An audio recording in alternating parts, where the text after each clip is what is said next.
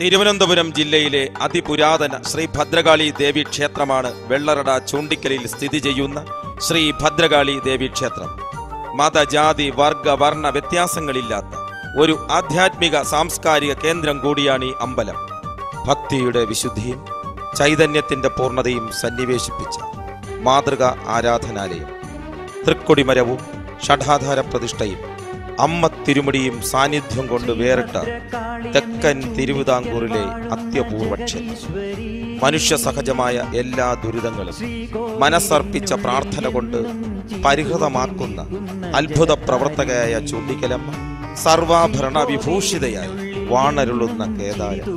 പാട്ടും വിളക്കുമാണ് പ്രധാന വഴിപാട്. ഇക്കൊല്ലവും സെപ്റ്റംബർ ഒന്നാം തീയതി ലക്ഷദ്വീപവും ലക്ഷാർച്ചനയും നടക്കുന്നു. രണ്ടാം ലക്ഷദീപം ഒരു ലക്ഷത്തി പതിനൊന്നായിരത്തി ഒരുന്നൂറ്റി പതിനൊന്ന് ദീപങ്ങൾ. ഒരേ സമയം ജ്വലിക്കുന്ന അത്യപൂർവ സന്ധ്യ. വർണ കാഴ്ചയുടെ നവ്യാനുഭവം ചൈതന്യം ജ്യോതിസാണ്. ദീപദർശനം പുണ്യമാണ്.